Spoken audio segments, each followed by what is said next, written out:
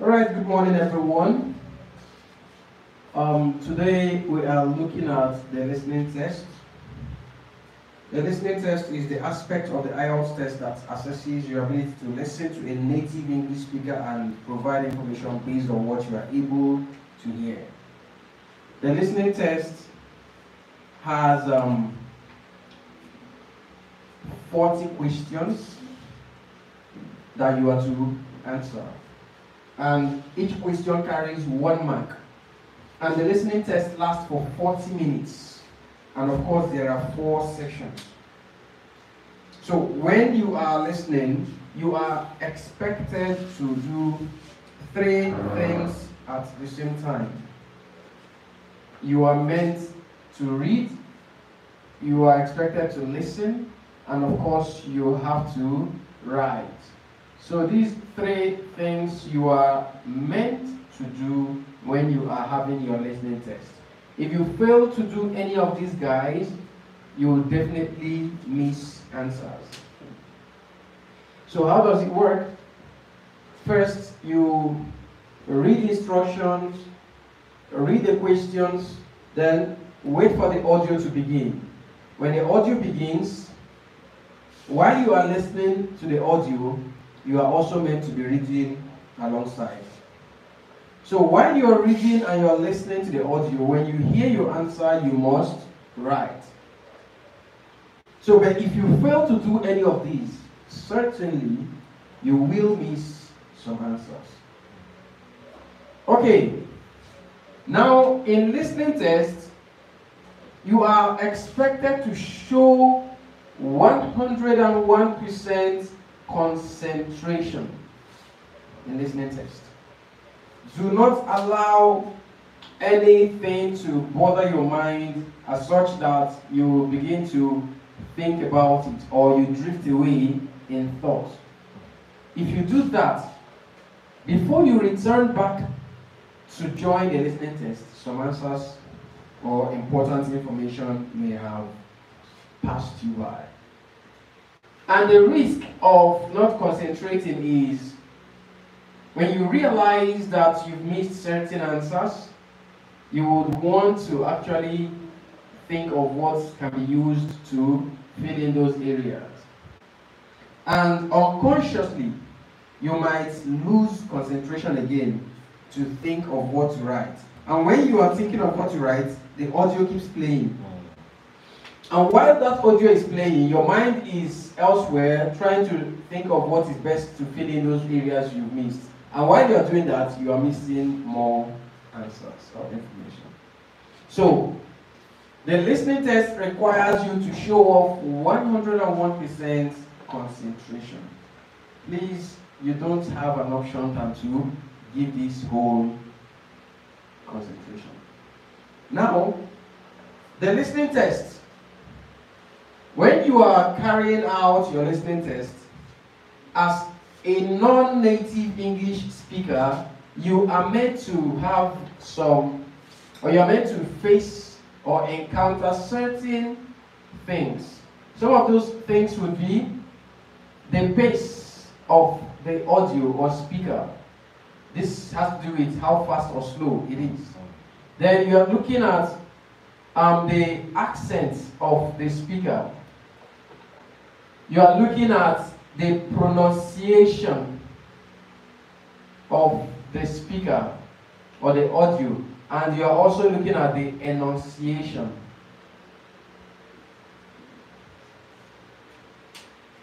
Now, when you are not a native English speaker, you're going to have some little challenge or challenges um, taking care of these four areas. First,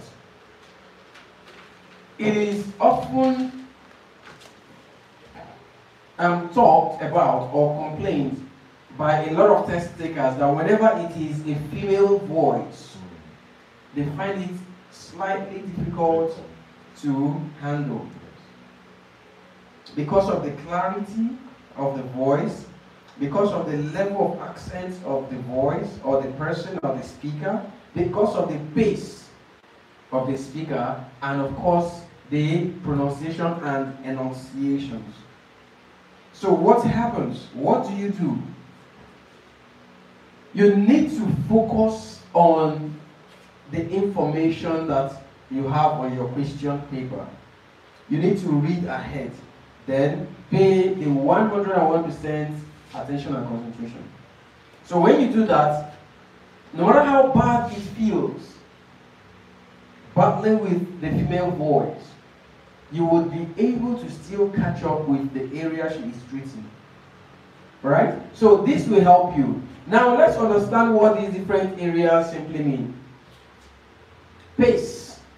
Pace has to do with how fast or how slow the audio is playing. How fast or how slow the speaker is actually talking.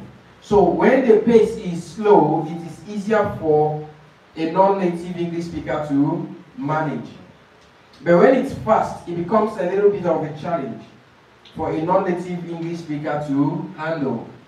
So this will require you to practice very hard, very well, very wide to meet up with all of these um, with the pace.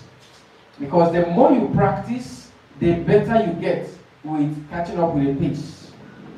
Right?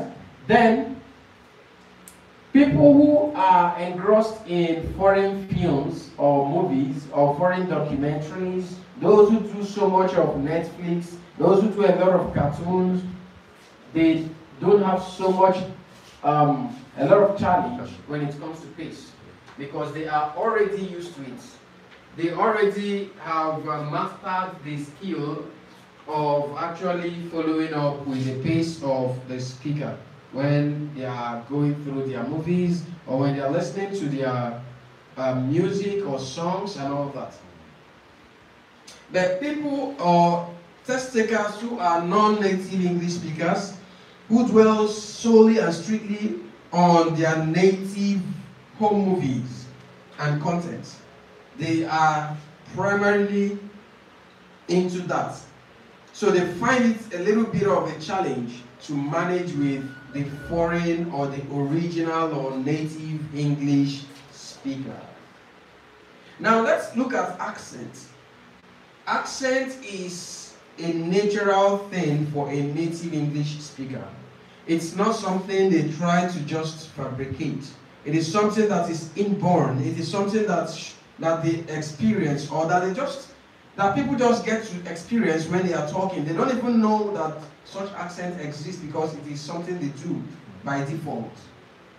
So, for a non-native English speaker, there is a little bit of a hassle to actually catch up with the accent of a, a native English speaker.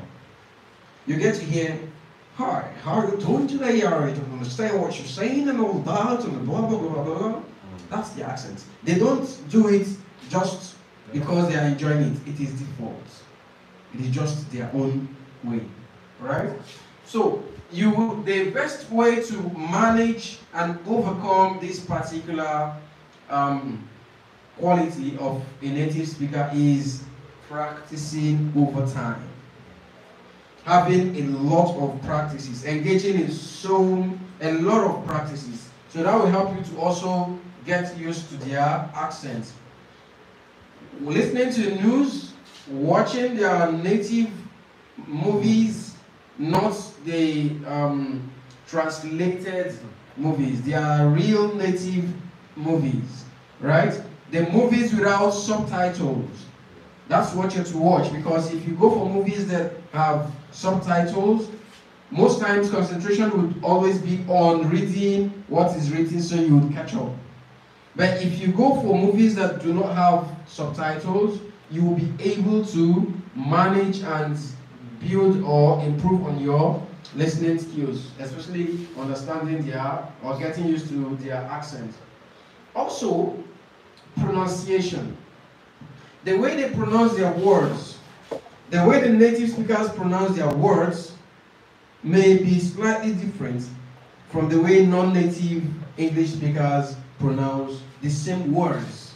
So you want to actually do a lot of podcasts, do a lot of podcasts, do a lot of their movies, films, um, their news, and all documentaries, anything that is strictly the native speaker's content. Do a lot of it. You get used to their pronunciation as well as the enunciation, how they manipulate their words.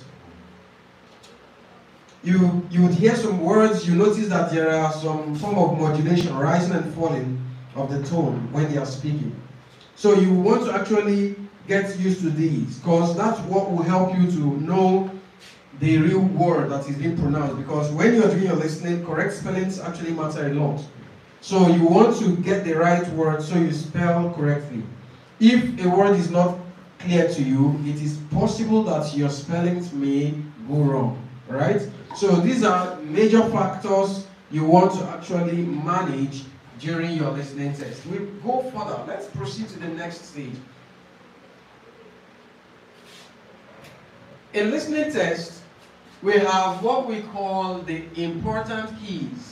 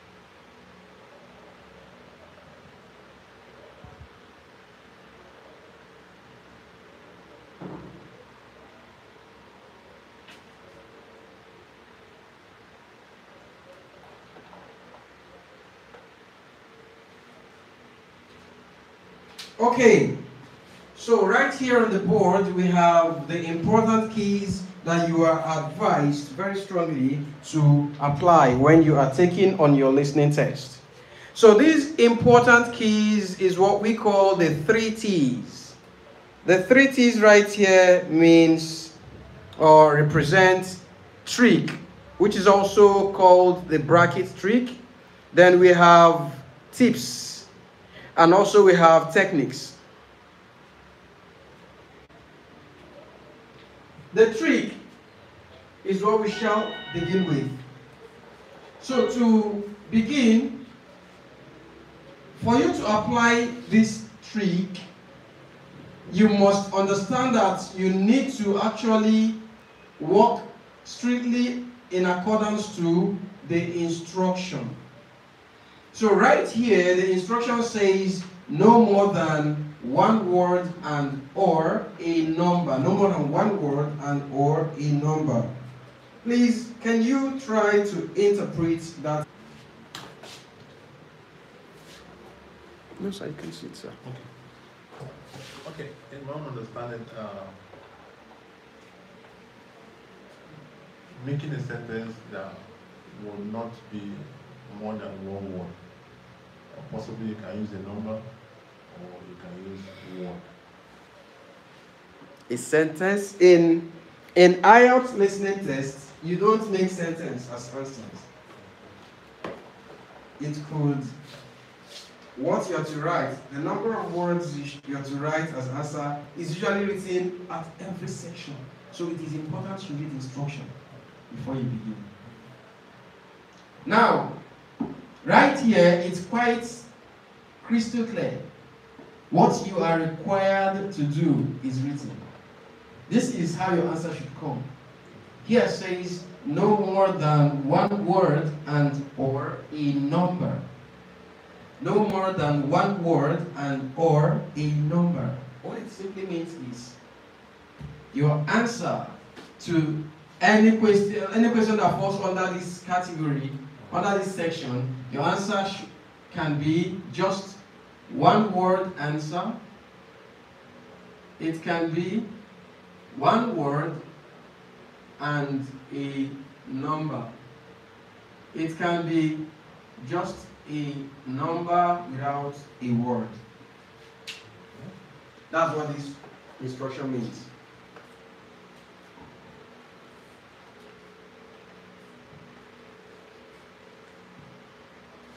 Okay. Now, if you have understood this instruction,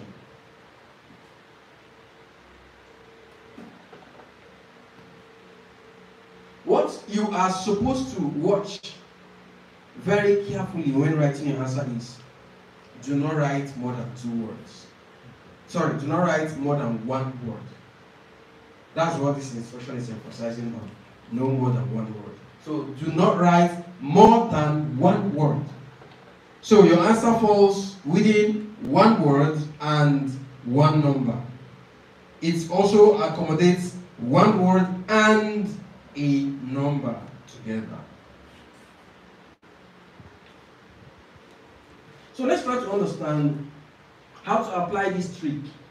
It is a trick that works. It is a trick that keeps you safe It is a trick that helps you to make your answer an option, to make a part of your answer optional to the examiner when marking your answer. So let's see how we can apply this. The application of the bracket trick works hand in glove with this instruction, and we have translated or interpreted the instruction. So, in what scenarios do you then apply this category of instruction when you're writing your answers? Now, it falls under the word when you are writing answers that will come in words.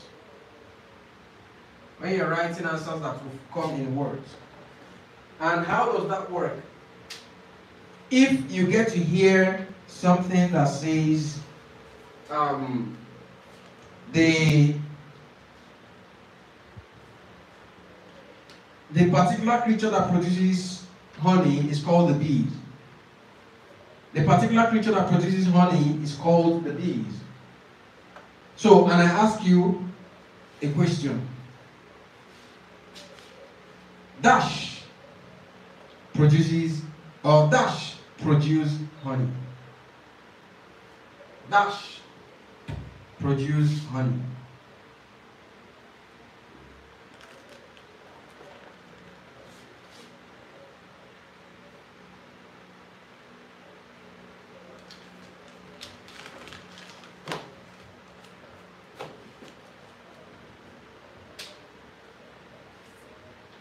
What produce honey? Pardon? B. B. B produce honey. Mrs. Janet, what produces honey?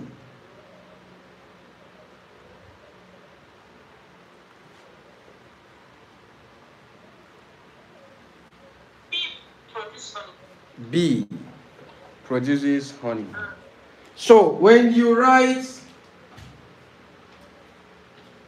B produce honey,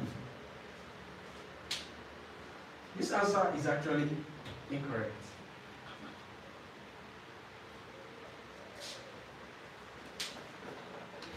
The answer is incorrect. Why is it incorrect? One, there are two reasons. Pardon? What is the question? The same question I asked you. What produces honey? Bees. Okay. So if you write B produce honey, it's incorrect. One, because grammatically Yes. this is incorrect. Okay. Then, secondly, you need to apply the bracket trick to play safe. So grammatically, why is this incorrect? Because this word here, this verb here, is in the plural form? Hmm? When you are looking at the subject here, look at it.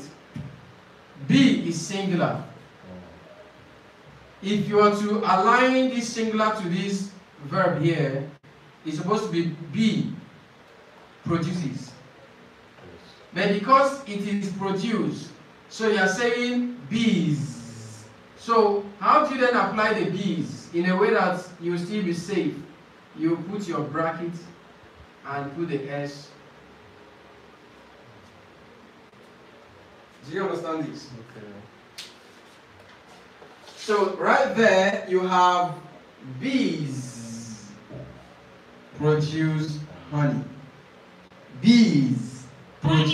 Bees. I heard bees. I did not not say bee. No, you said bee. I was right here. I didn't hear bees.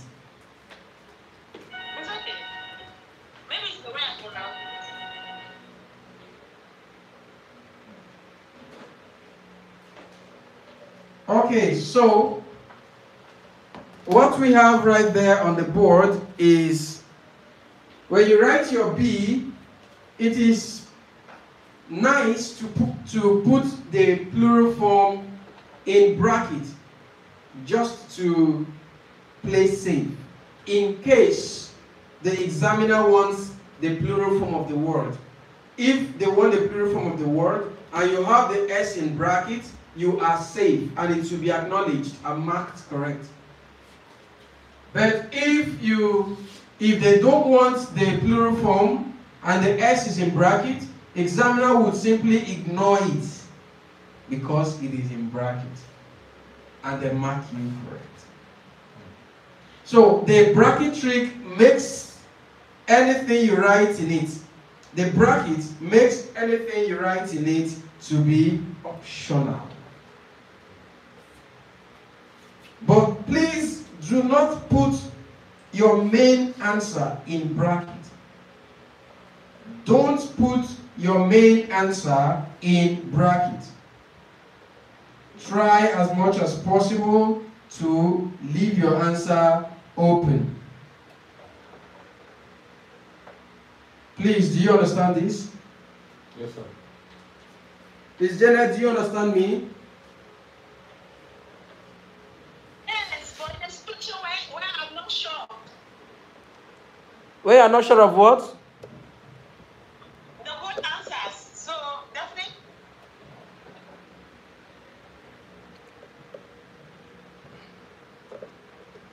I didn't get you, please.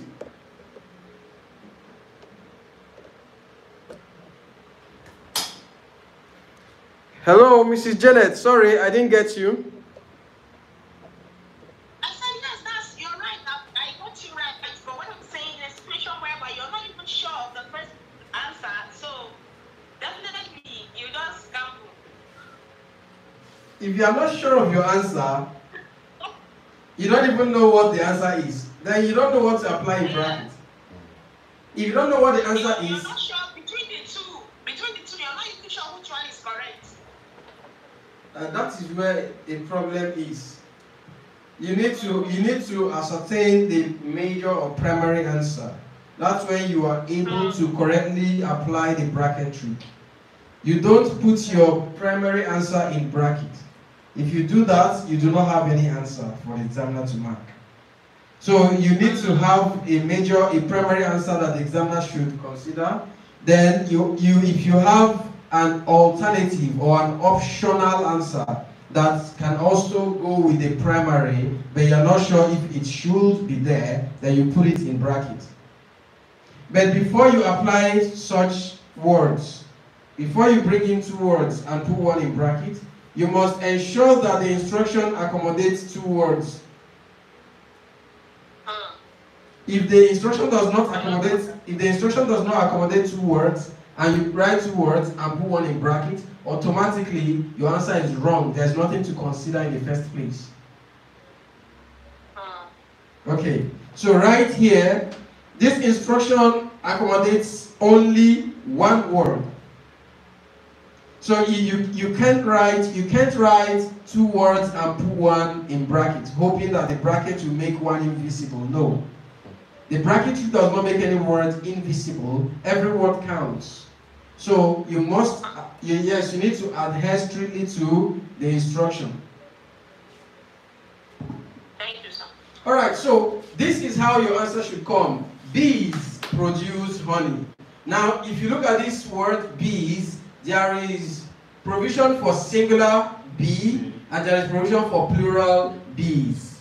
Right? So, in this po- at this point, if what the examiner wants is B, the S in brackets will be ignored. If what they want is bees, the S in brackets will be acknowledged and everything is safe. So this is how to apply the bracket trick when you are treating a section that says no more than one word and or a number. We'll go further. Now you might also be treating a section that says that is talking about um, date of birth. For date of birth, you may have some formats to be DD, MM, and YYY. Other formats can also be MM, DD, and YYY. Okay. So when this when you are treating a section that says no more than one word and or a number, and the section you are working on at that point in time happens to require date of birth, maybe someone phoned in and is asking to know about certain things or is, ad, or is reporting a situation or making a complaint and the person's information maybe, maybe is required to be written down and the person is asked to provide his or her date of birth, then the person says, I was born on, on September the 6th.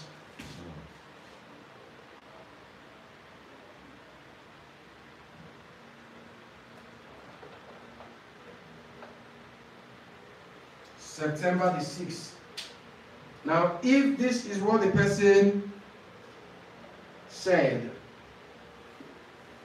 Mrs. Janet, can we, or is this answer correct based on what the person has given? I was born on September the 6th.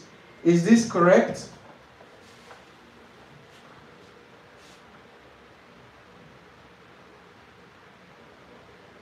Okay, sir. Is this correct? Would you write this? I, I won't write because I was thinking that if if it must go this way, It's not correct. September 6th. September 6th. But since there is day there, Six, uh, TH. September 6th. Okay.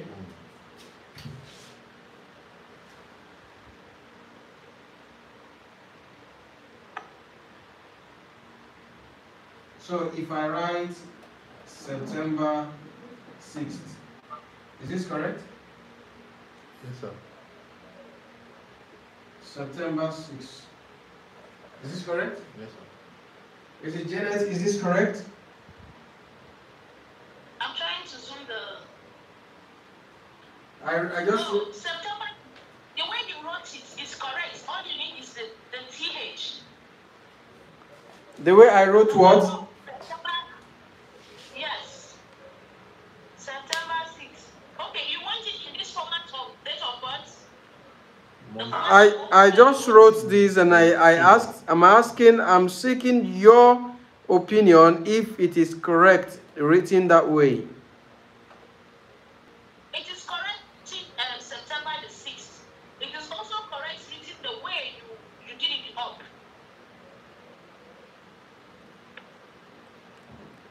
Please, which one do you th- are you taking? Is it September the 6th. September the 6th? The 6th. Okay, September the 6th. So I'm to add TH to the 6th. Yes. Okay. Now at this point, This answer is wrong. This answer is also incorrect.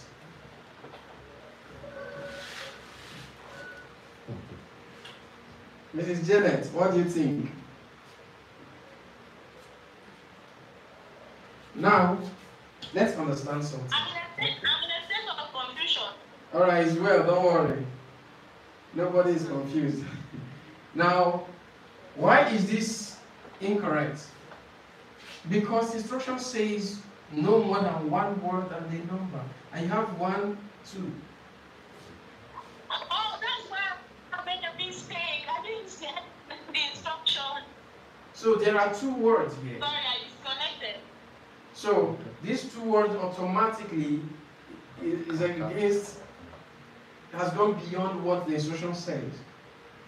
So, and if you write 09 slash 06, which indicates September 6, is incorrect because here says a number. The instruction right here says a number, and we have two numbers. So it's also incorrect. So how do you manage it?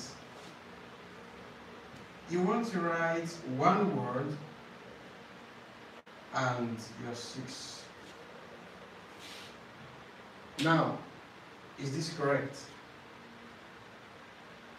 Yes, sir. Sir? Yes, it's correct. It's correct? Mrs. Janet, is this correct?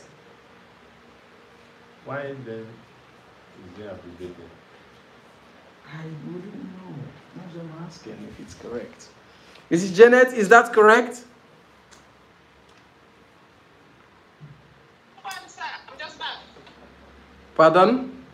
September 6th. No, we, we need um, we need TH. Okay, not not. more than Mm.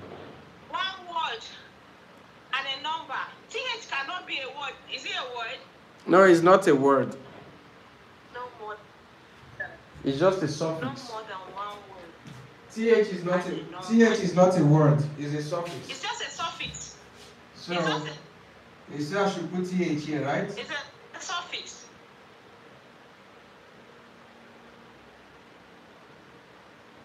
Yes, sir. So is it correct now?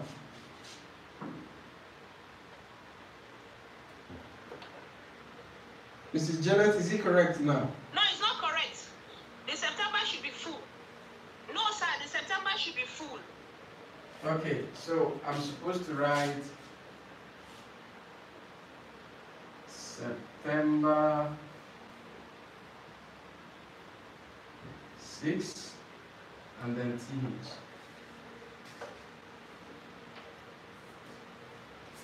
Okay, now if you write this, it's going to be wrong because what you have written is not even an English word to Mm. begin with. That's French. It means seven. So you have written seven sixth. Alright? So it's going to be wrong. So right here, September 6th. If you write it, you stand 99, 95% chances of being wrong as well. If you write September 6th, because the, the lady said, I was born on this on September the 6th. September the 6th. So, what do you need to do? Bracket trick. Put your TH in brackets. Just to stay safe.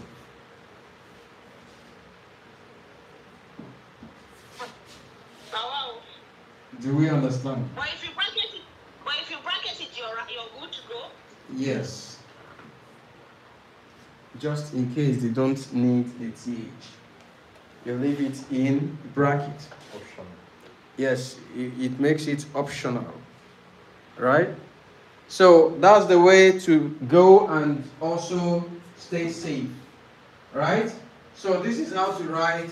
Sometimes it could be 10th of September. 10th of September. So what you do is you write your 10, put TH in bracket, then write September. Don't write of. Because if you write of September, you are creating two words. Do you understand? So you write your 10 in digits, in figure, then put your TH in brackets, then write your September.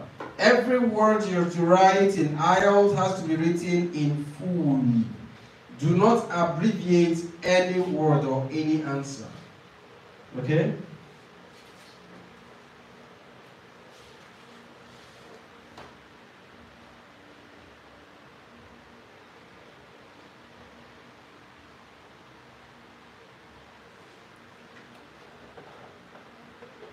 All right.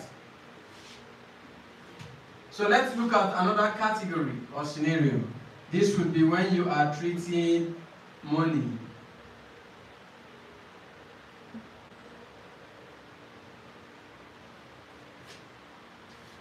When you are treating money, there are usually three popular currencies.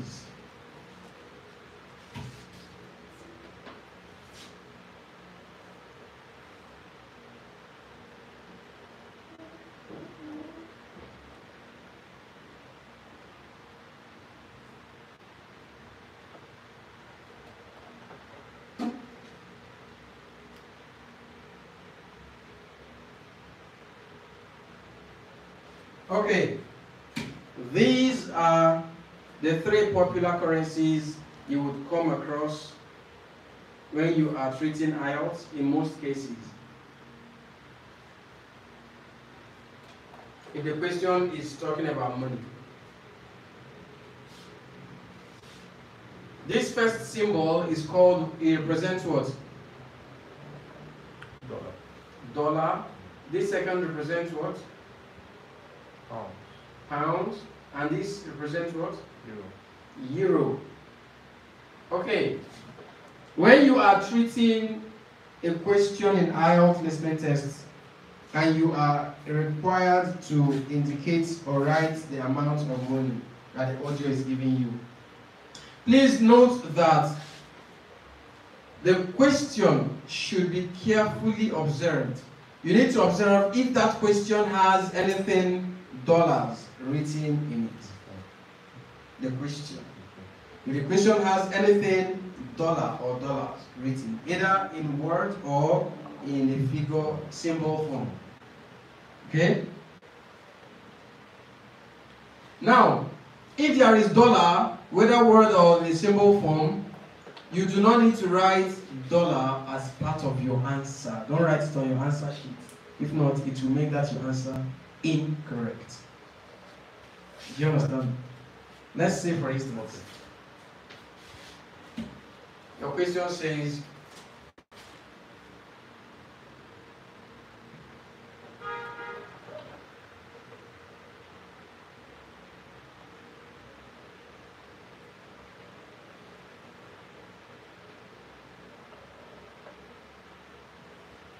So it will be an M. That's oops.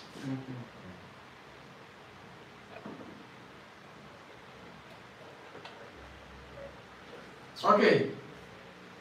Right here, if the question comes this way, transport fare, and you see something like this, and you see, maybe you know, one comes here.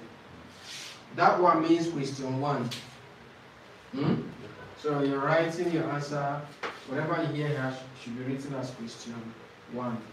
Then, transport fare, dollar symbol, and you hear something like $75.15. $75.15. How do we write $75.15? Can you direct me? You, you're going to write the 17, since there's already um, a dollar sign sign. of the dollar, you don't need to repeat it. You just write the 17. What's the heading? Not more than one word. Yes. We're still using no more than one word and a number. Yes. Okay. seventy-five dollar. Yes. Is this correct? More than one number. Is this correct? Miss Janet, it's not it's correct. not because no, no more than one word and a number. Okay, so what's wrong? like more than one number. Okay, this is more than one number. That's how I'm looking at. Okay, now let's also confirm this.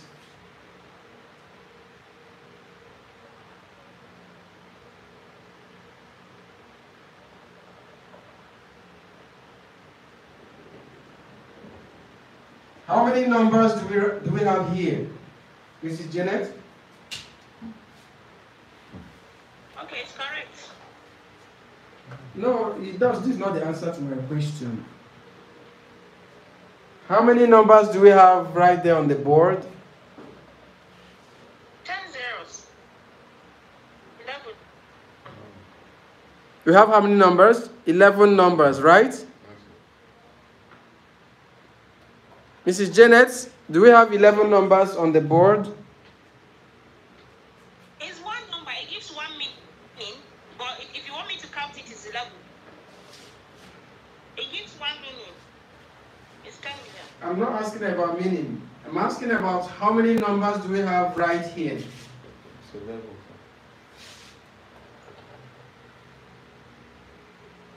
It's eleven. 11 numbers. Fine. Eleven figure one number. Pardon? You're confusing me. Am I confusing you? Eleven one. As far as I'm concerned, I would say one, but you say it does, it's not the meaning, so it's eleven. 11 what? 11 numbers. Mm. Hmm. It's one number. It's one number. I think you need to maintain one lane when you're driving. There's there's room for for for for one to rephrase whatever he's trying to do. Okay, so please give me your final answer. How many numbers do we have on the board? One number. One number. Sir, how many numbers? Eleven. 11 numbers. Okay.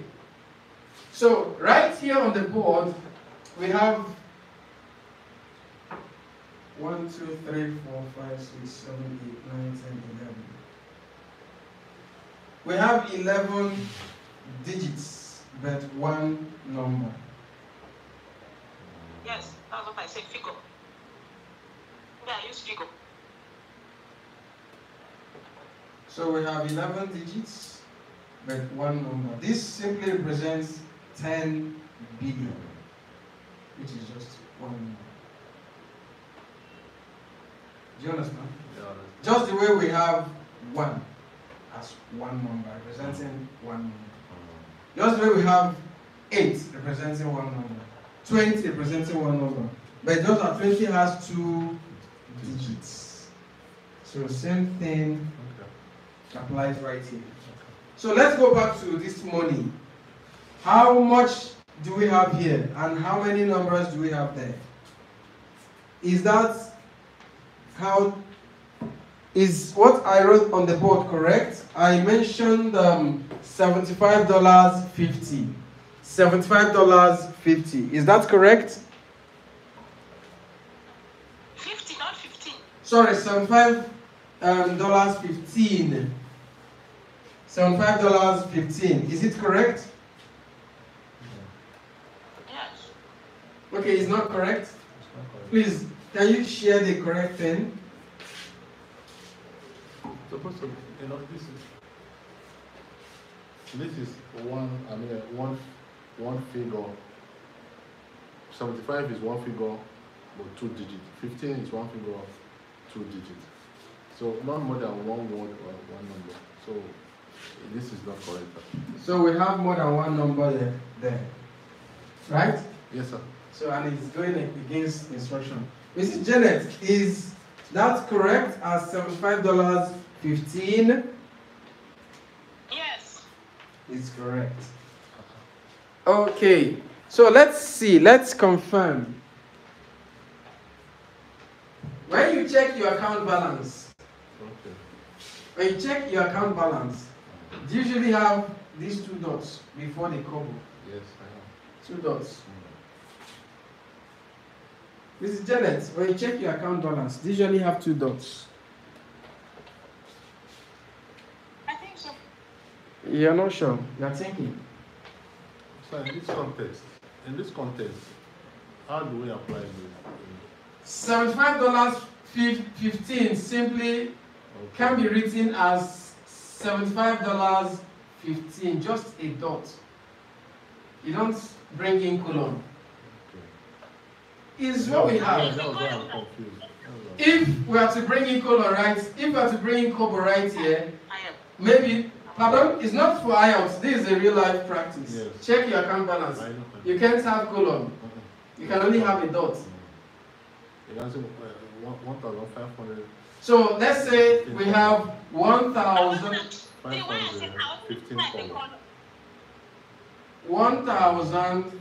five hundred fifteen column. one thousand five hundred and twenty-five naira Fifteen. fifteen kobo. This is how it appears on your account. So when you're writing in IELTS, when you are to write money, please do not use colon, just use your Dot. dot. Do we understand?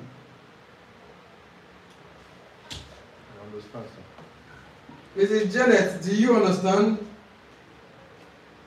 Yes, sir. Okay, so now I said you have to check your question paper. That particular part of the question that requires you to write amount. If it has something like this, this is the dollar symbol. When you're writing your answer, when the audio says the answer and you hear it, when you're writing it, this is the only thing you are going to write. For instance, $75.15. You're not meant to write on your answer sheet and include dollar symbol. Again. Don't do this. This will make your answer incorrect. What, why is it so? This is because the question already has the dollar symbol. So you are meant to provide information that is not on the question paper. So this is not on the question paper. So it's assumed that you want to fill in the space. So if you write it again, it simply means you are repeating another symbol. Please, you understand? Yeah, I understand. So that would be what we call tautology, repetition. So when you're writing anything, especially listening and reading tests, do not include a part or any information that is already written on your question paper. As a test taker, your duty is to provide the information that you cannot find on the question paper. Now, there are some other questions that would come, and within the sentence, it would write dollar in words. Dollar will be written in word, That is after the dash. maybe after the dash. So when dollar is written this way, there won't be the symbol version. So if there is no symbol version and you have dollars, when you're writing your answer, please do not write the dollar symbol. Don't do this. Just write only this. Do not write this dollar symbol because dollars is already written on your question paper. Please, do you understand? Yes, understand. Mrs. Janet, do you understand?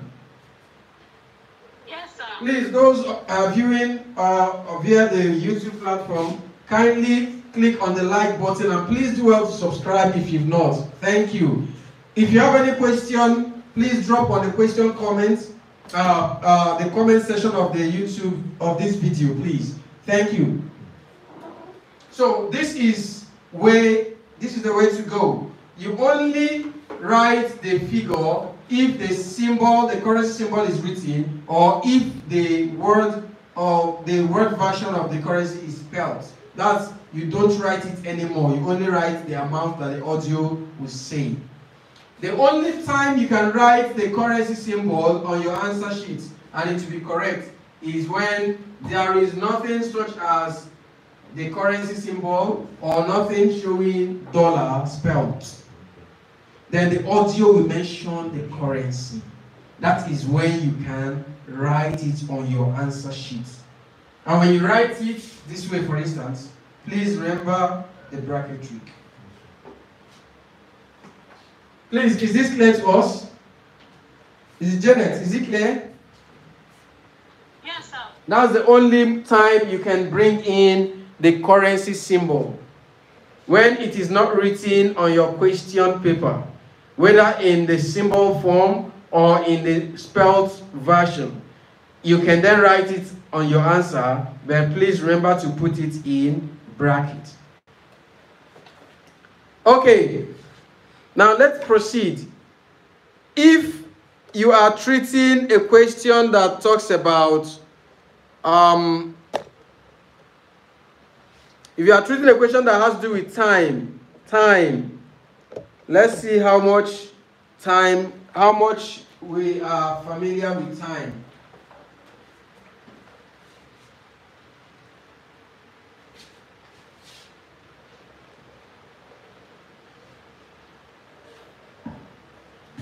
If you are treating a question that says time,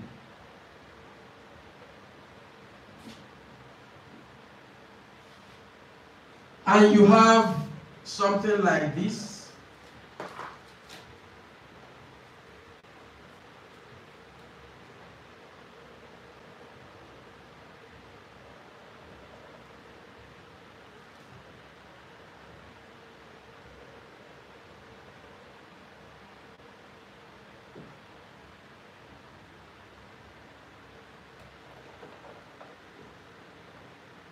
so which will you go for? Which format will you go for? This or that? As in, will you go for this format that has colon, or will you go for this format that has dot? The one that has color. Colon. Okay. Um, Mrs. Janet, which will you go for? The time that has the colon or the time that has just a dot? Colon. All right. Now, um, you are correct, but it is not what we need. This is what you need. And that's what you should write when you are treating time.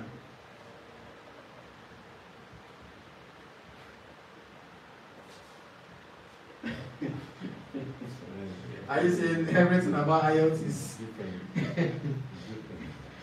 it's not different. It's just that I, even on posters, you Anyway, it's correct. You're right. you know, We're, we're British. you know, we, we You're right. practice. We are we are colonized by the by the British and not America. It is the American format that goes with colon. okay. It is when you when you buy any gadget, you notice that the format of that gadget is on American sta- uh, templates by default. Yeah. So they they bully a lot of other places to make sure you apply their own policies.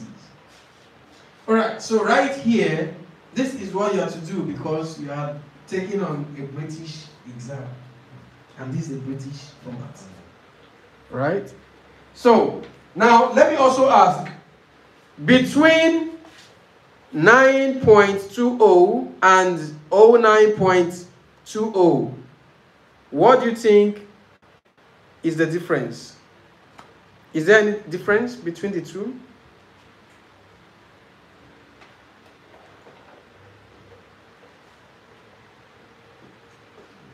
Is there any difference between the two? Yes, sir. What is the difference, please? The zero point nine could be AM. 0.9 could be AM. yes, you are. I think you are correct. I don't know what I'm meant to say that I'm correct. Zero, uh, the 0.9 could be AM. No, nine.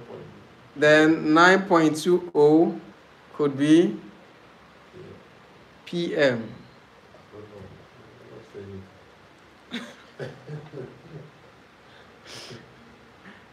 IELTS. Okay, so Mrs. Janet, please tell us which version is actually, or what do you think is the difference between the two? What do you think is the difference between 9.20 and 02.20?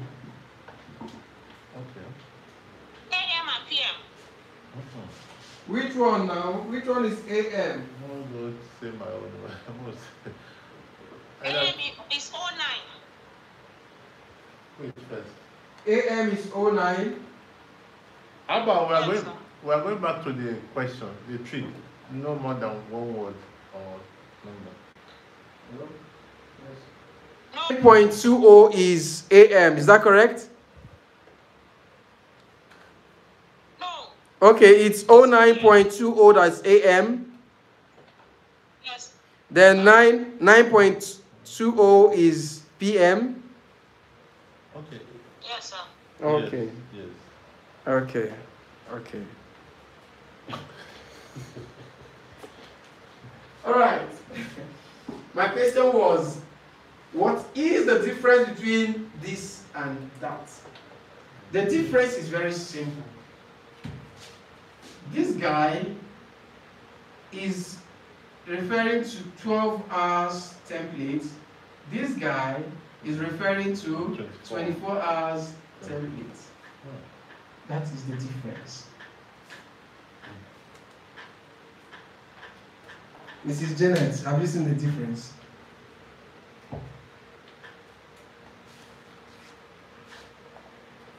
Now, when you have noticed the difference, now it is time to ask you the second question. The second question is, what time of the day is this? And what time of the day is this? Mrs. Janet, let's say ladies first. Okay. The first one is. Please, what time of the day is 9.20 and what time of the day is 09.20?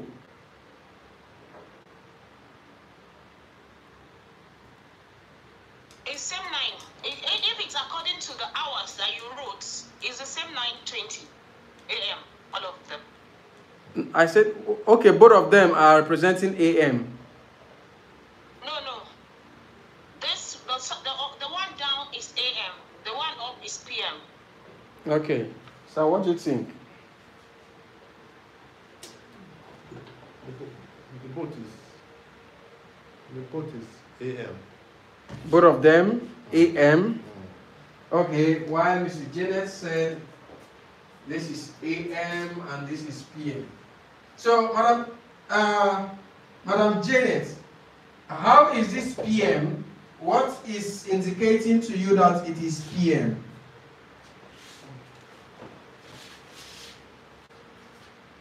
In a 12 in a 12 hours um, digit, Mm-hmm.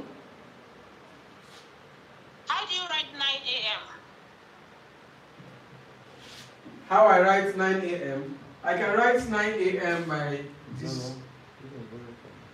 Zero. It's the same thing 9:20 a.m.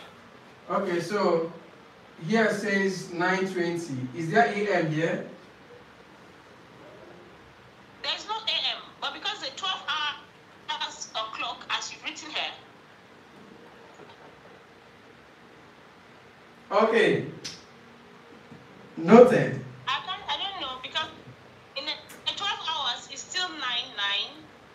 All right. Noted.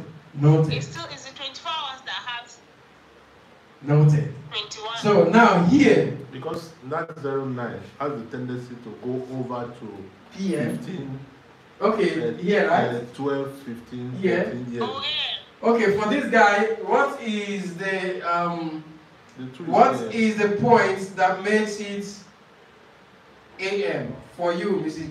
Janet?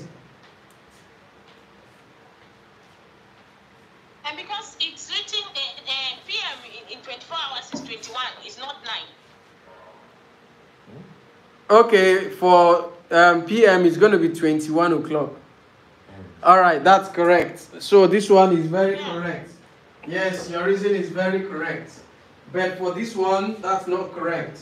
Because 12, 9.20 a.m., if it is evening, you still get 9.20. But the difference will now be, there will be 9.20 a.m. and there can also be 9.20 AM and PM. p.m. Do you understand? But I want to say Okay, this. so You said what, Mrs. Janet? I want to say You said I equal. want to say this same question. Ah, okay. I didn't hear it. okay, so as it stands now, this particular one. I said I said 9:20 AM could be morning and evening in 12 hours. Could be AM, could be PM. Ah, we didn't hear when you, we didn't hear when you said that. We're only hearing Okay, AM. So I said it. Okay. Okay. So, sir, you were trying to ask a question. Yeah, my question is that. So how do we? Is it the two now? Are they AM or PM? Which? What I said before was that. Okay, you said they are both AM. Yes. This is AM. Correct. Okay. But this is not AM. This is not PM. But it can be AM. It can be PM. Okay. The only way we will know the time of the day is when this AM and PM are indicated. Okay. When it, when it comes this way, you know that automatically it is AM. When it has PM, you know that automatically it is PM. Do you understand? Yes. But when it appears this way, You can't. you can't say for sure that it is AM. That's why I was Okay. telling her it's fine. Okay, so now when you are taking on your listening test and you hear or on your question paper, it is possible that your question that requires time may have schedule.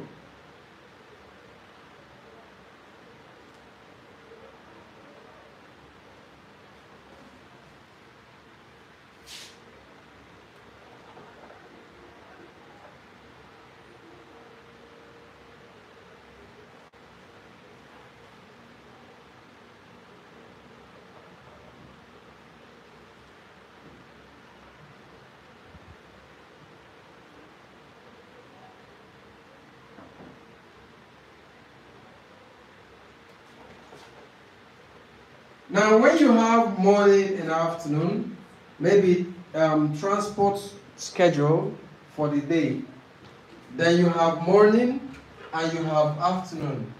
Then for the morning section, if you are given the time, maybe you hear something like, to meet up with the first train that departs in the morning, you are advised to arrive at exactly 7 o'clock as the train departs exactly at 7.15. So this would give you ample time to do all the protocols and enrollments. Now, at this point, at this point, you do not need to write AM anymore because the schedule is given to you as morning. The template is there. The template is there. So what you need to write is, if the question says, what time does the train depart? So what time will you say? Seven fifteen. 7.15. So you, you are meant to simply write 7.15 as your answer. You don't need to write 7.15 a.m. If you do this, this a.m. will make your answer incorrect. This is Janet. Do you understand this?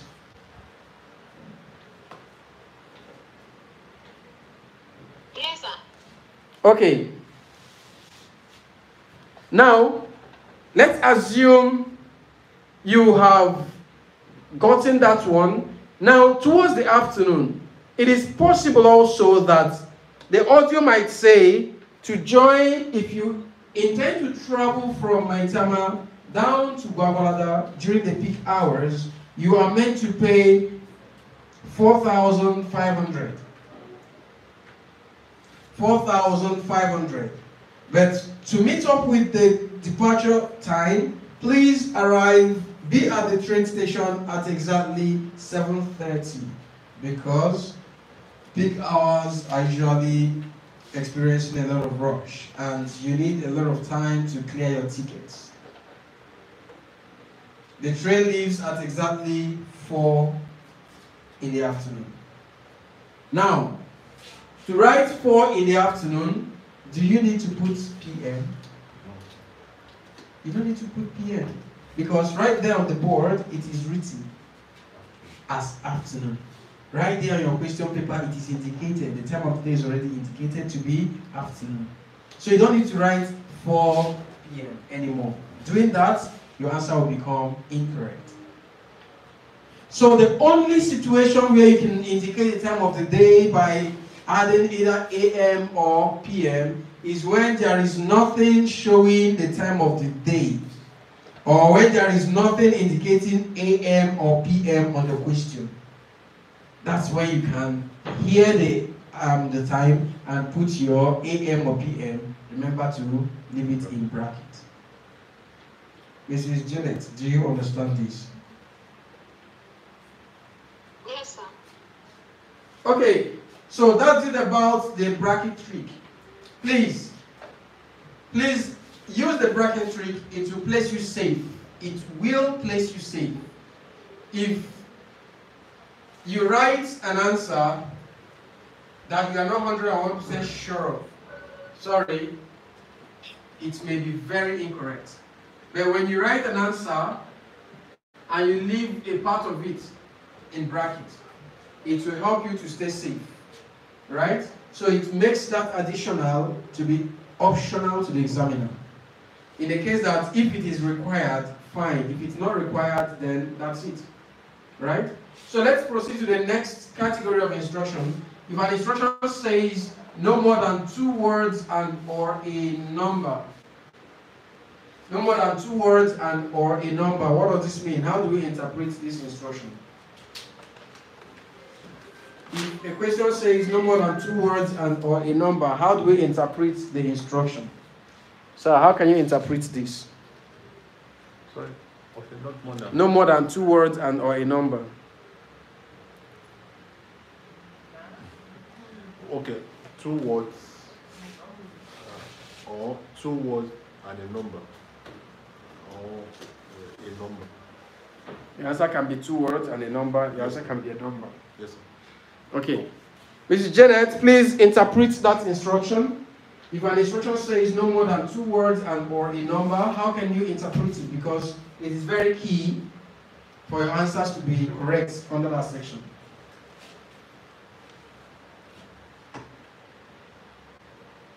Two word and a number. Pardon? Two word and a number. So your answer can be two words and a number, right? Yes, sir. Yes, sir. Now look at it this way. When the instruction says no more than two words and a number, please do not make the mistake of writing two words all through and a number, two words and a number, two words and a number. 70% of those answers will be incorrect. So when you have this instruction, what it means is your answer can be one word. Your answer can be one word and a number. Your answer can be in two words. Your answer can be in two words and a number. And your answer can also be just a number without a word. This is what the instruction means. So, there are questions under no more than two words and a number. There are questions that you'll be perfect to write just one word answer. Okay? So you need to be careful so you don't make mistakes of writing two words because you just saw two words, two words. Huh? So how then do you apply the bracket trick when you are treating a section that says no more than two words and or a number? Let's look at it this way. You've just heard, Transport.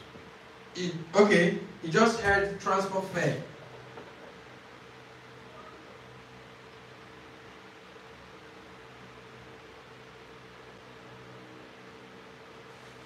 Transport fare is a two-word answer, perfect. But it doesn't mean that 100% you need the two words. you need to identify the keyword uh, between the two. The one that can do without the other. So, in this case, transport can go away if you don't want it. Fare simply means transport. Do you understand this? So, you put your transport in bracket and leave the fare open. Now, leaving the fare open passes the message to the examiner that fare is my major answer. Transport is an option. If you need it, please take it. If you don't need it, ignore it because it is in bracket.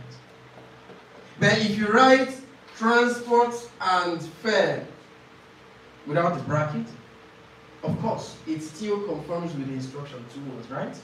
But if what the IELTS examiners need is just fare, and you know transport fare, you are incorrect. Please, do you understand? Mrs. Janet, do you understand? Yes, but in a situation whereby it says one word and there's transport fare, Hmm. are you putting the transport fare together? Or does that mean it's one word? Because transport fare is two words. Good. So transport fare is two words. So you do you cannot put transport fare as one number. It's not possible. So if it says one word, there's no way these two can even come in in the first place because automatically your answer will be incorrect. So you have to go for just the fare. Okay. Can even add another example. Take for example, listening test. You can Listening. put it listening test. You can put it listening in bracket. But what it means is that you're writing a test. Yes, but it's very specific to the listening. Test can be general. Test can be general, but it's very specific because IELTS, for instance, has four areas. Oh my god. So you have to be careful. They won't give you six such questions, Oh, okay, okay. okay. right? Because you just end up shooting yourself in the foot. Okay, so this is one example of a two-word answer. Another example might be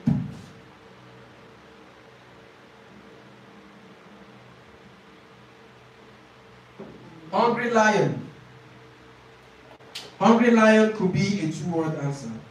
Now, out of the two words there, hungry and lion, which do you think is the main answer? Lion. Lion? Sir, what do you It depends on the answer, the question, Sha, or I think the hungry. the major party hungry there means. adverb. The hungry is an. Hungry, I think, so I'll be able to- Okay, so let's understand how this thing goes. When you have these two-word answers, yes, the uh, the two females actually gave me the correct answers. Huh? Mrs. Janet and Madam behind you. Here, Mm, hungry lion. You need to look at the question quite alright, yes. Right? But in this case, lion, um, hungry and lion.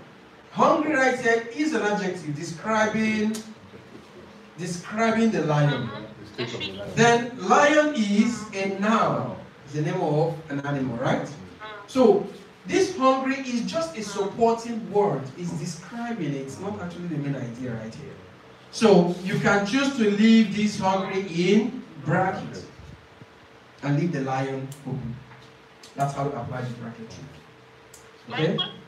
In such question, the, the, the noun is usually the answer, Yes, in most cases. except if the question. Mm. In most cases. In most cases. Okay, so this is how to apply the bracket trick around two, around no more than two words and or a number. Okay? So let's go to the last category of instructions that you come across when you are treating your listening test. That would be no more than three words and or a number. No more than three words and or a number. How can we interpret this? Mrs. Janet, can you interpret this instruction? No more than three words and or a number. What does it mean? Three word and a number. It means your answer should be in three words and a number. Is that correct? You agree with with them? Yes, sir. Yeah. Madam, do you agree with, with them? When you say no more than three words, Mm. could the words be lesser than three? Could be less than three and a number? Could be three or just a number? It just says no more. No more than three words and or a number. So the emphasis is don't Don't exceed. exceed three words. That's the emphasis. So it could be two, it could be one, it could be just It's a number as words. Three words. The emphasis is do not exceed three words. But the Three words. interpretation, the interpretation of this is that your answer can be one word. Your answer can be one word and a, a number. Yes. It can be two words. It can be two words and a number. And It can be three words. It's three words and a number. It can be three words and a number. Number. It could also be just a number without a word. Yeah. Please, instruction is very important in IELTS. This is one of the major reasons people fail IELTS. They actually get to hear answers, but the add words are not supposed to come in to hit. They will, they will see the need to intensify their practice. All right, so let's come back here. So if the instruction says no more than three words and or a number, this is what it means. So please do not make the mistake of writing three words, three words, three words all through. 70% of those answers should be incorrect. Some answers may require only two words. Some require only one word. Okay? So let's now learn how to write three words and apply the bracket trick and, and still remain safe. Okay? So when you hear something like um,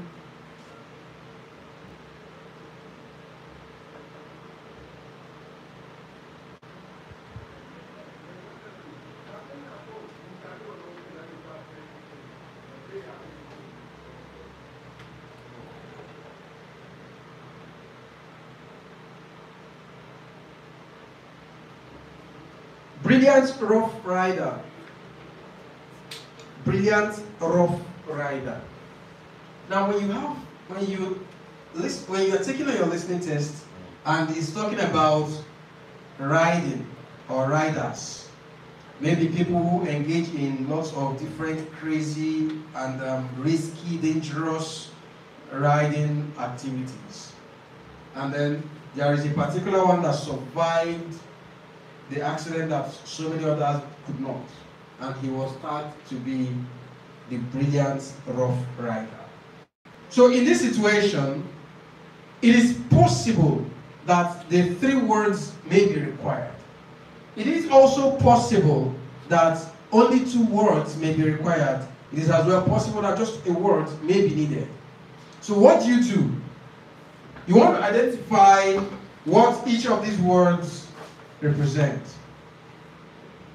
Now, brilliant is an adjective. Right? Rough could also be an adjective, right? Rider. Who is a rider? Is also a noun, right? A noun of uh, maybe some form of uh, action or activity or profession or career or something. So we're leaving it as a noun. So in this case, brilliance is just an attribute. To who? Rider. To the rider. Rough is also a quality or attribute. To who? The rider. So they are both supporting words. Is that correct? Yes, sir. So what you need to do is put this guy in bracket, put this guy in bracket, leave the rider open. Right? So, but do not put two words in one bracket. Automatically you have annulled those words. Don't put two words in one bracket. But you can put two words in separate brackets and they will be valid. Mrs. Janet, are you following?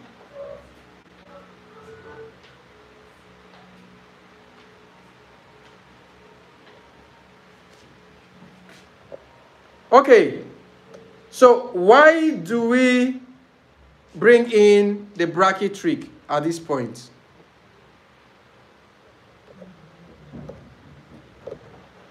Just to play safe. You need to play safe because one thing that fails a lot of people is slight things, just very slight information that we are supposed to add, or things that we should not even bring in at all, and you bring them in. Just because of that, examiners will mark you down. So you just have to pay key attention to some of the things you should avoid and how to place them or make them stay safe for you in a way that if they are needed, then examiners would acknowledge them. If they don't need them, of course, they'll be ignored and then the correct thing there will be marked. So that's what we have to actually look at.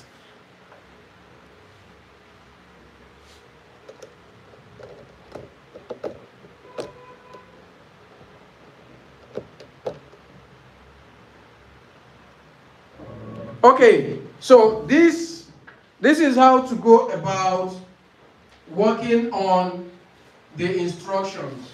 Please do not take instructions for granted and do not assume that the same instruction that applies at the section A is what would apply for section B. It doesn't work that way. Every section will come with its own instructions. So please read and interpret correctly and then make use of them. So that's how to apply, that's how to go with the tricks. Now let's go straight to the second part, which is tips. Let's look at the tips in listening test. Please, you're going to write very quickly. Take down these tips. Tip number one during your listening test, tip number one is read the instruction before starting any section. Tip number one read the instruction before starting any section.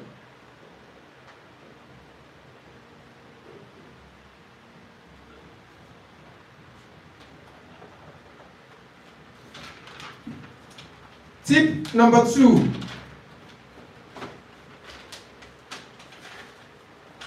Identify the number of words stipulated in the instruction. Tip number two. Identify the number of words stipulated in the instruction.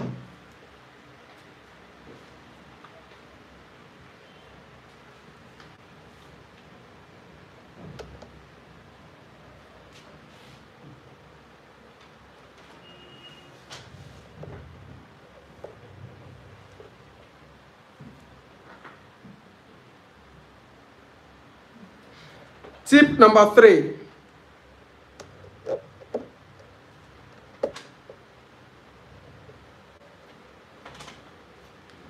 Read the, the questions before the audio begins to play. Read the questions before the audio begins to play.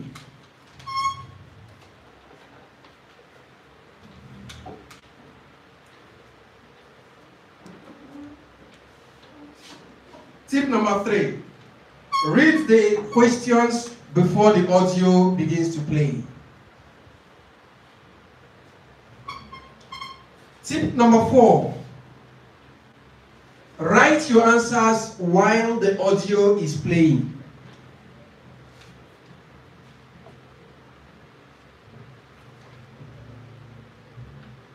Tip number four. Write your answers while the audio is playing.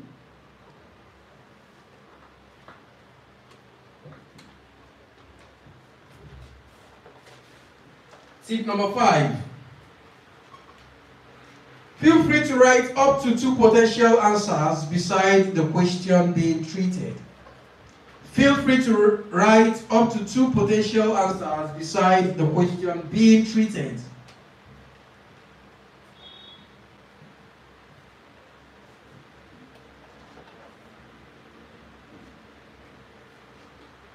But ensure to transfer the most appropriate.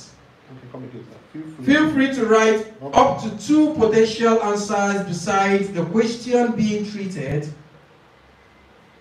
but ensure to transfer the most appropriate.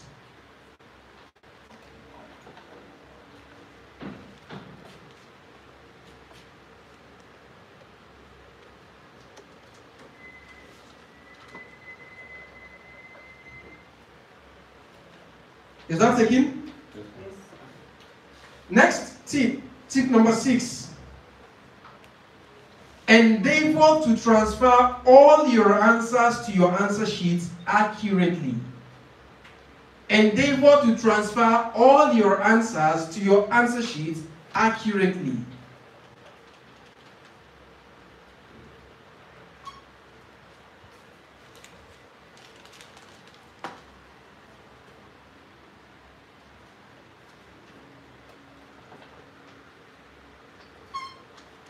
Tip number seven. Note that IELTS is also testing your spelling skills. Note that IELTS is also testing your spelling skills. Note that IELTS is also testing your spelling skills. Therefore, always write all your answers in full. And correctly. Therefore, always write all your answers in full and correctly.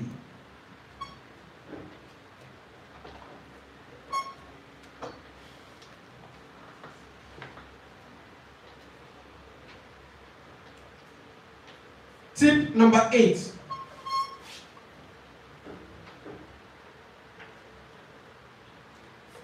Do not pause your concentration on the listening test. Do It, not do not pause pause your concentration. your concentration on the listening test in order to remember an answer missed. Do not pause your concentration on the listening test in order to remember an answer missed.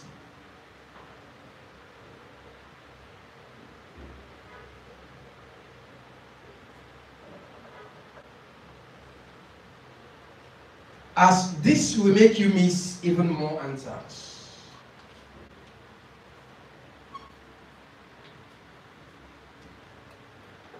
As this will make you miss even more answers.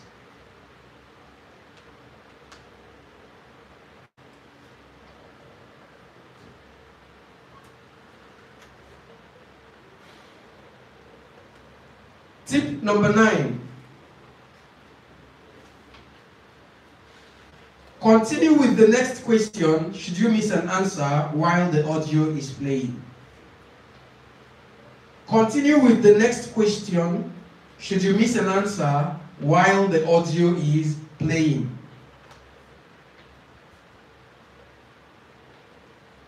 Continue with the next question. Should Continue with the next question should you miss an answer while the audio is playing.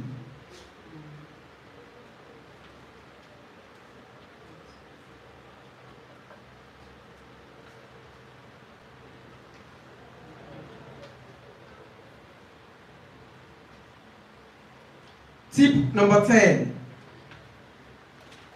If your punctuation skills and knowledge are not good enough, if your punctuation skills and knowledge are not good enough, if your punctuation skills and knowledge aren't good enough, then write all your answers in block letters.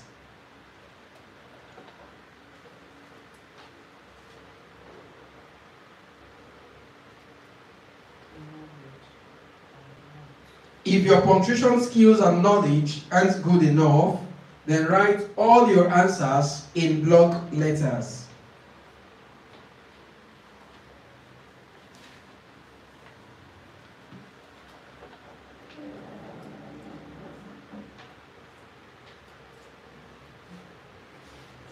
Okay, so these are key tips that you need to hold on to during your listening test. These are key tips you need to hold on to. Let me give you 60 seconds.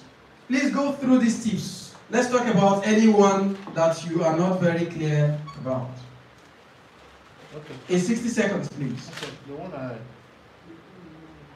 Is that uh, number eight? Do not pause your concentration on the missing question, as this will make you miss even more. Yes. What what can one do to remedy this situation? It's just to guess at the end of that particular section. Or you look through the question And and guess. pos- possibly guess. But don't pause your concentration while the audio is still playing. Because the audio keeps playing, it doesn't wait for anyone. And it's not played twice, it's not repeated. So it's a flowing stream.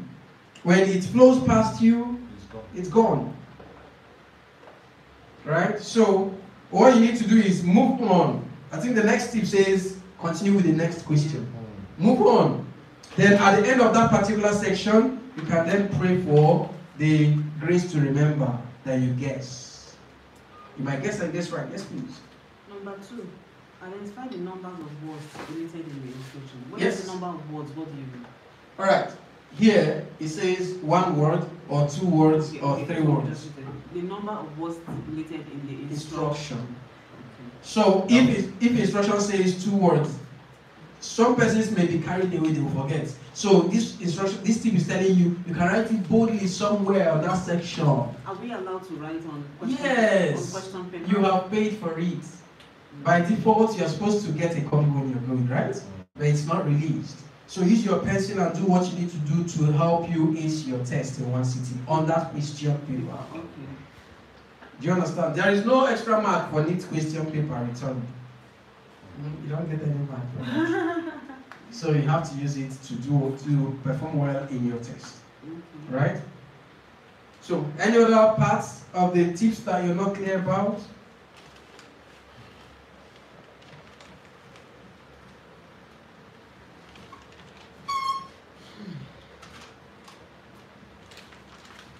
All right, so it's all clear. So let's go to the last T here, which we call techniques.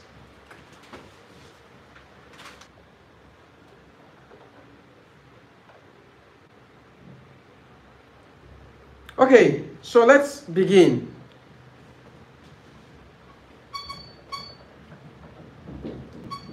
In listening test, you're going to experience a high level of paraphrase. And it is the basic reason a lot of test takers during their listening test tend to be lost. Lost during the exercise. They don't, at some point, they don't even understand where the audio is treating during their listening exercise. It is because of paraphrase. Because the audio does not read the question on your question paper using the same words that you have read. So when you read a question or when you read questions on the question paper, you are hoping to hear the same thing from the audio. The audio never does that. Okay. It's not possible. If audio does that, everybody will pass. They are looking for the smart ones. Those who can read in between lines and decipher what and relate what they are saying to what is written. Right? So the audio will always use synonyms of those things written there to mm. express those information. So while you are busy waiting to hear is the particular word there, audio will get pa- will walk past that level and say the answer. You will not hear and you won't write it. So you've lost that answer. And then it goes to the next question and you are still waiting to hear the first one.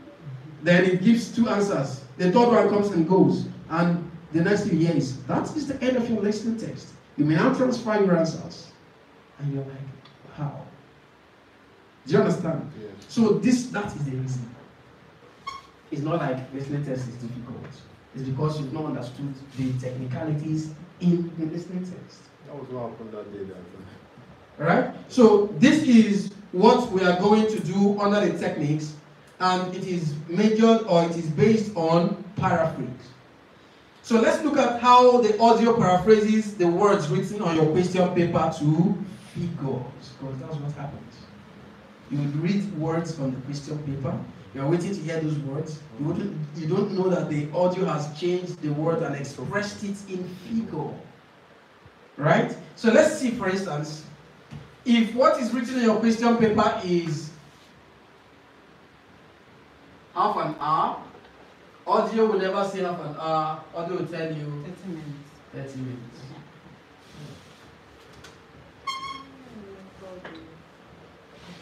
Do you understand this? If what is written on your question paper is audio will never say a dollar. Audio may just simply tell you 100 cents. 100 cents is equivalent to a dollar. Mm. So that is why the tip says read the questions before the audio begins to play. The reason is very simple. So you prepare your mind on the possible ways those words can be rephrased.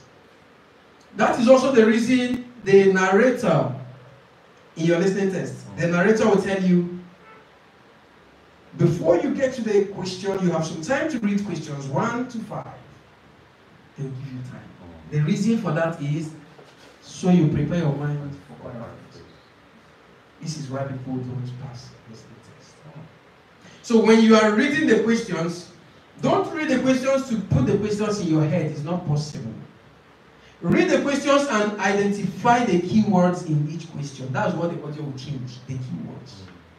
Those are the things the audio would paraphrase. Right? So, words will be paraphrased to figures. Always. You can't run away from it. Figures can be. Figures, of course, will be paraphrased to words. When you have something that says every seven days, of course, it will become, it will be expressed as what? Week. Oh, Simple. So don't expect every seven days. It is not possible. Okay?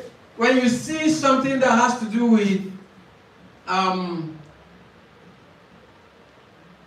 every 15 minutes, it is what?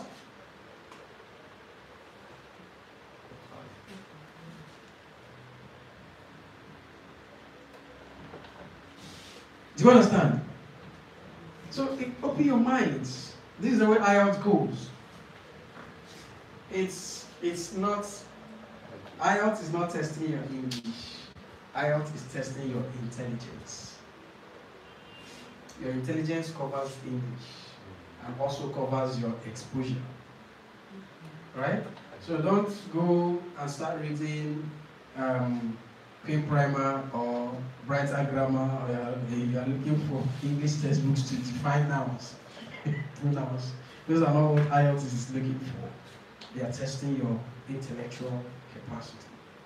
Then let's look at how words or figures are paraphrased to fractions and percentage. So a quarter can be paraphrased to what?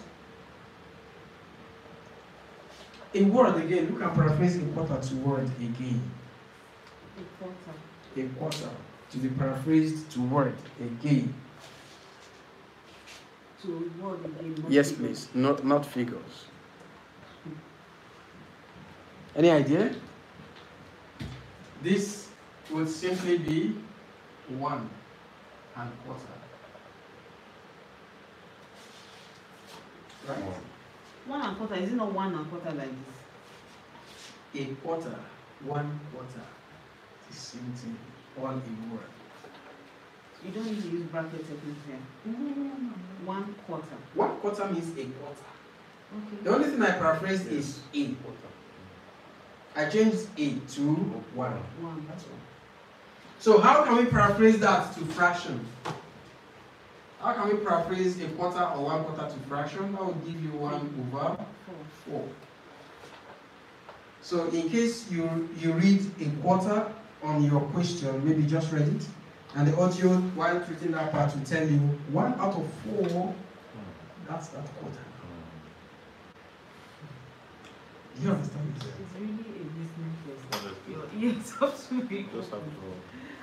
to. So please pay attention.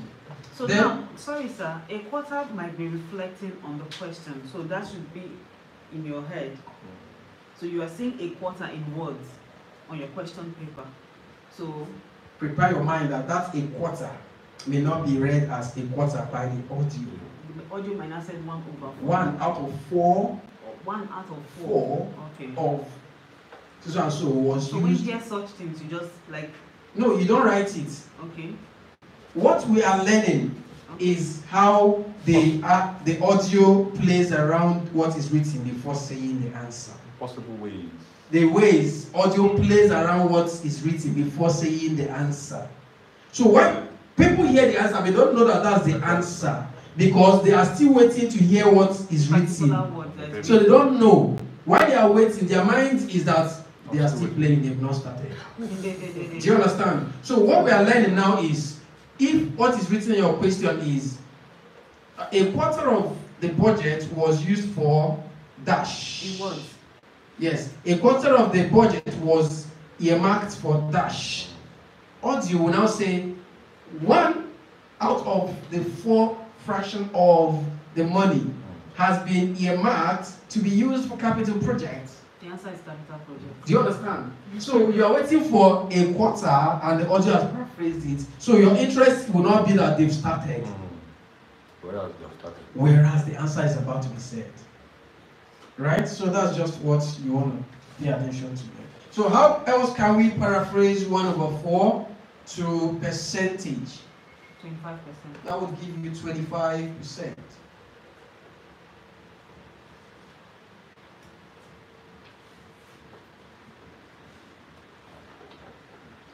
Then if you hear something like half of the entire situation, half of the entire whatever it is, how can half of the entire be paraphrased in fraction? Twenty-five percent. One over two. 1 over 2, in fraction. half Okay. Half of the- in fraction. 1 over 2. Some, in some cases, 2 over 4. Right? Yeah. Now, in percentage, that would give you what? 50%. Is that correct? Yes. So these are ways the audio will play around what is written in your question. You need to prepare your mind.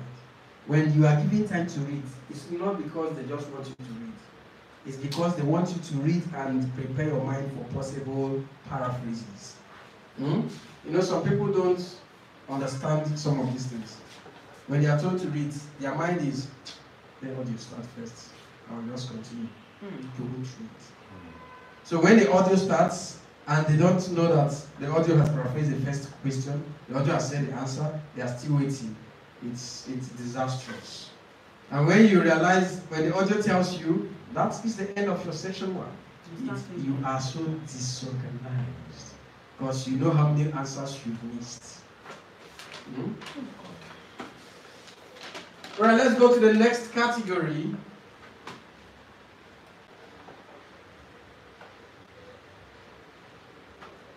Let's look at how words or figures can be paraphrased to general terminologies.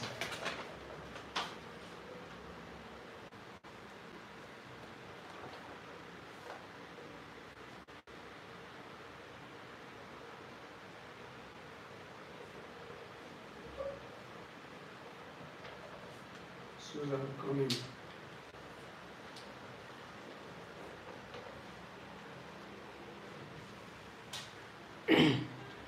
Okay, so let's work on these, or on these rather. Here, we have a list of expressions that you may come across during your listening test. And these expressions will, of course, will be expressed in a paraphrased way. So let's see how these words or informational expressions can be rephrased or um, expressed without necessarily using these words. Something that happens every day, Daily. the audio can say what? Daily. Daily. Or every 24 Hour. hours, right? Something that happens Every every week? Every week? Every week? Weekly. Weekly? Weekly. Or every seven days? Right? What about every seven days? Every um every two weeks? Twice a month. Bi-weekly? Or every fortnight?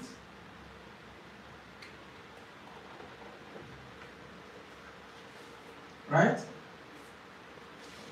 Something that happens every month can be expressed as what? Monthly. Monthly? Or four weeks? Right? Something happens every three months. Every three months? A quarter of a year. Or quarterly. Quarterly. Quarterly. What about something that happens every six months? Half a year. Half a year. By annual. By annual.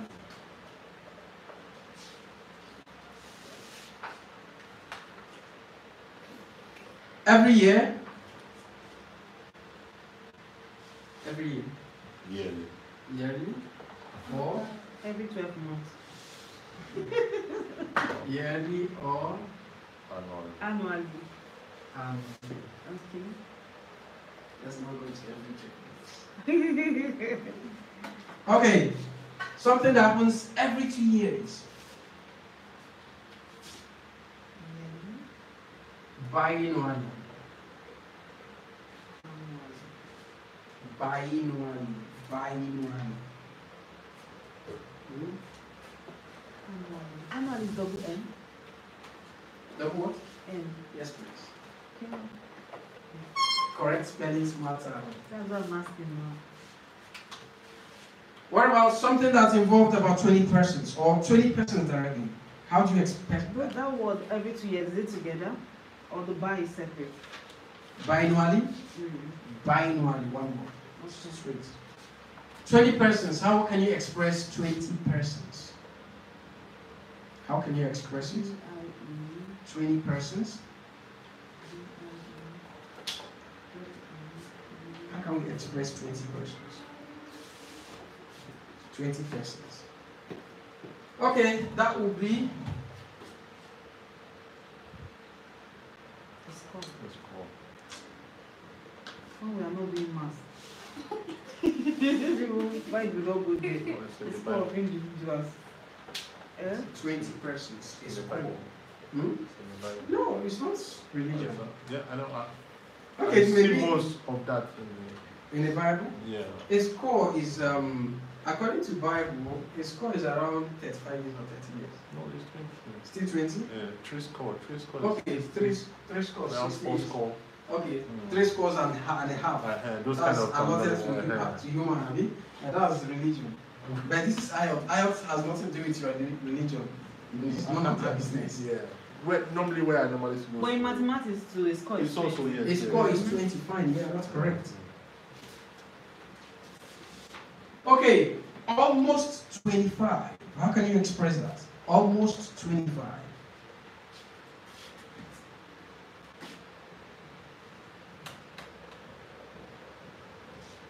Almost 25.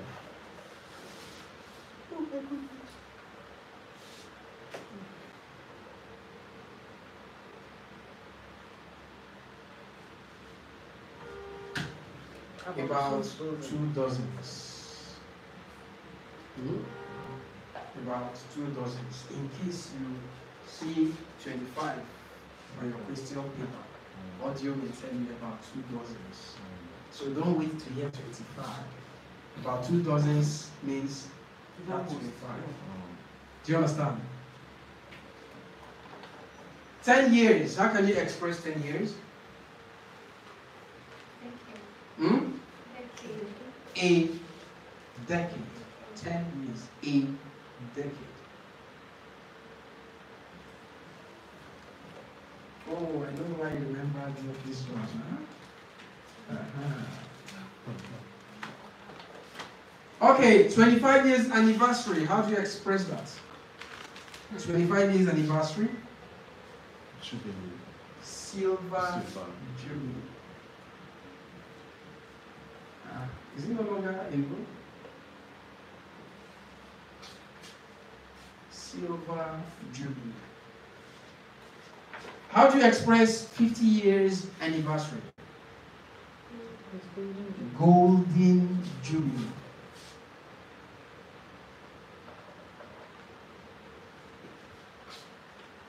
What about 30 years? How do you express it? 30 years. Three decades.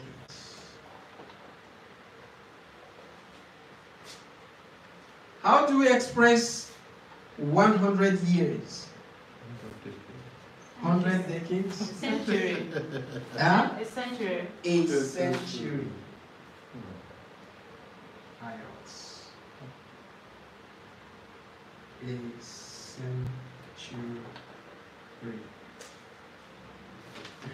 What about 1,000 years?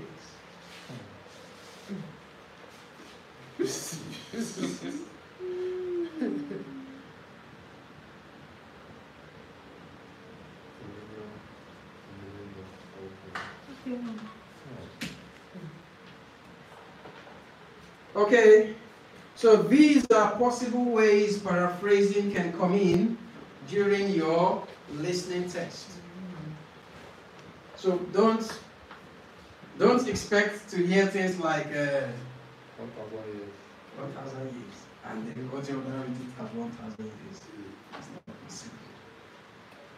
It's not possible. So prepare your mind. Whenever it tells you read questions one to this, or read questions six to that, or read questions eleven, please read. They have their reasons. Read. It's very good. All right. So we shall stop at this point today and continue from here tomorrow by God's grace. Okay? Please, do we have any question? All right.